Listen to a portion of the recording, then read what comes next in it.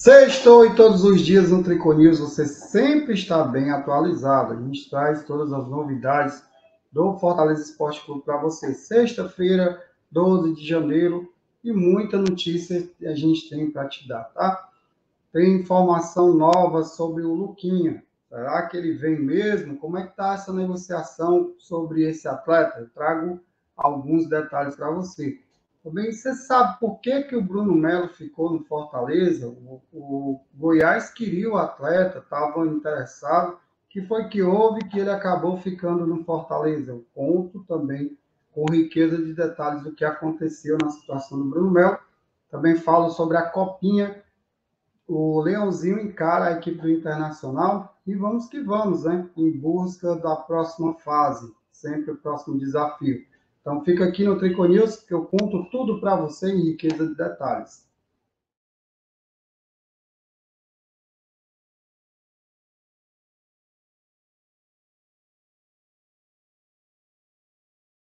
Leãozinho vai jogar a segunda fase da Copinha. Primeira fase excelente, né? Ganhou os três primeiros jogos, ganhou primeiramente do Castanhal, 2 a 0, depois enfrentou a equipe do CRB, ganhou por 4 a 3 e a última partida foi do Vossas por 2 a 0, né?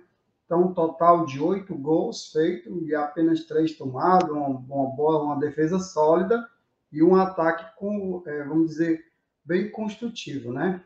Tem uma matéria aqui do Povo falando um pouco sobre a campanha do Leãozinho e o seu próximo adversário, Fortaleza Sub-20, que busca aí fazer uma campanha melhor do que a de 2023, né?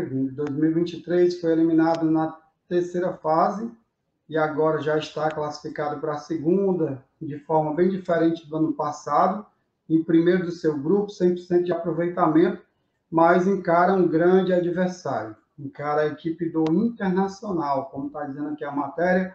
Fortaleza enfrenta o Internacional pela segunda fase da Copinha e busca classificação. Bem que o Internacional não está tão bem assim, perdeu para a equipe do 15, mas todavia é um time de expressão. E os, os meninos têm um grande desafio pela frente. A gente espera que consiga aí essa classificação. É, o placar é o que menos importa. O interessante é que sai de campo vitorioso. O jogo é hoje, né, sexta-feira, dia 12, às 15 horas. A gente vai estar acompanhando todos os detalhes. E, claro, a gente traz no vídeo de amanhã o que de melhor aconteceu para você. Esperando sempre que a gente possa trazer a informação de que o Leãozinho se classificou para a próxima fase. O jogo será transmitido pela Casé TV no YouTube, né? Terá essa transmissão. Alguns jogos são transmitidos também pelo, pelo pessoal da Globo, né? Do Sport TV, mas esse terá exclusividade da Casé TV. E a gente espera, novamente falando, um grande jogo, uma grande atuação e, claro, contar com a classificação. Essa fase está sendo disputado é, no estádio municipal Antônio Viana da Silva, em Assis, onde o tricolor jogou toda a primeira fase e também irá jogar essa, essa partida, né? E é aguardar, acreditar, e esse time está dando resposta, está demonstrando alguns jovens valores aí como a gente tem dito aqui, quem mais chama atenção, Kevin Andrade, Amorim e o Cauã, têm sido os três, os três jogadores mais insinuantes, além também do Yarley, né? Então, toda energia positiva para vocês. Vamos entrar em campo, vamos buscar a vitória e essa classificação. E comentem o que vocês esperam do jogo de logo mais do Leãozinho pela Copa são Paulo de Juniores.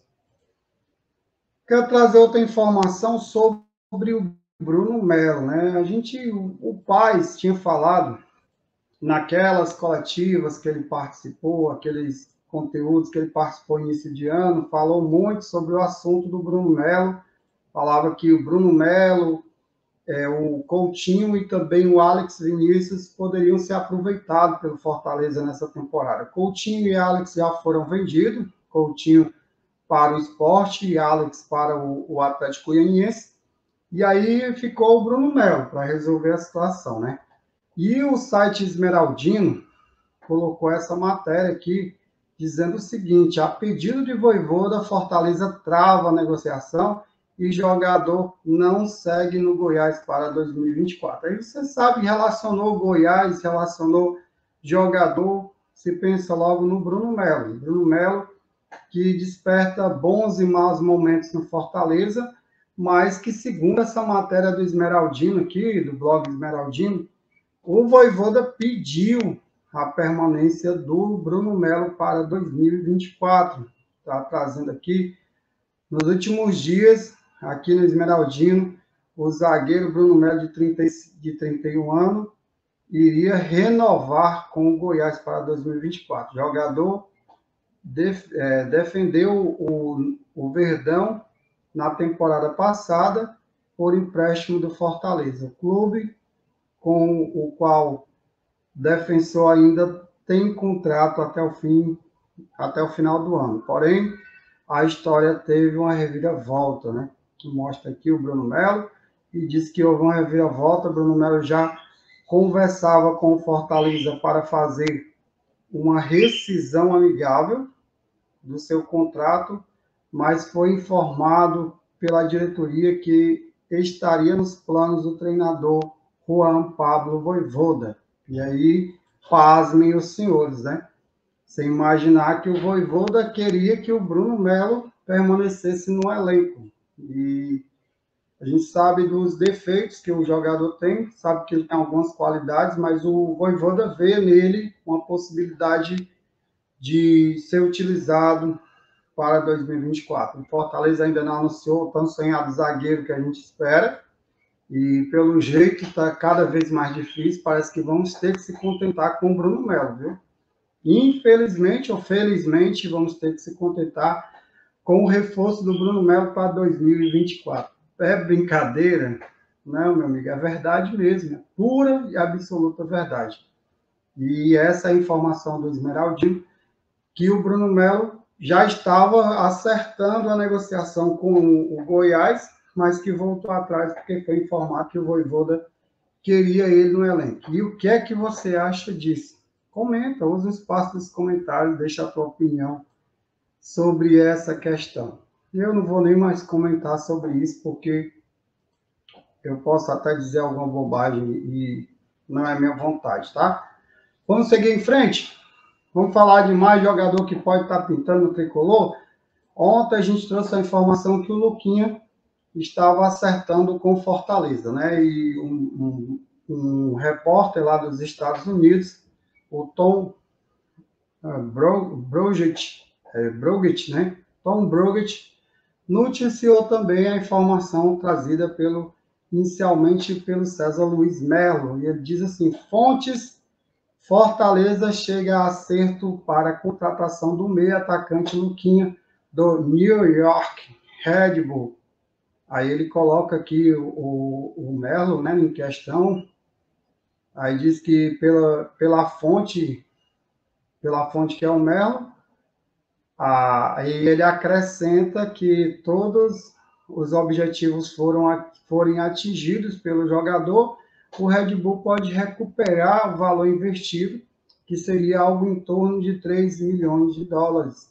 E aí o jogador sairia para Fortaleza hoje por quase 15 milhões de dólares, mas aí resta saber a verdade, o fringir dos ovos, como será. Se o atleta está vindo por esse valor, se o valor não é esse, a gente não custa lembrar que há uma grande facilidade do Fortaleza em agir no mercado é, dos Estados Unidos, no, no, no, mercado americano, porque a gente trouxe o Bruno Costa, que era o, o executivo de futebol lá, bem, vamos dizer assim, bem conhecedor do futebol.